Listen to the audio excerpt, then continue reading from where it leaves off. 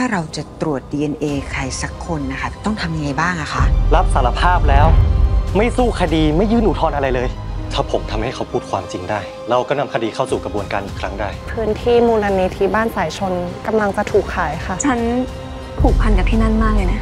แล้วถ้ามันไม่ได้กลับไปเป็นมูลนิธิ ถ้าวันหนึ่ง ที่ตรงนั้นมันกลายเป็นอย่างอื่นไปล่ะ ฉันไม่อยากเห็นเขาต้องร้องไห้เสียใจอีกไม่ว่ากับเรื่องอะไรทั้งนั้น กลเกมรัก คืนนี้ 20 นาฬิกา 30 นาที ดูทีวีกด 33 ดูมือถือกด3 plus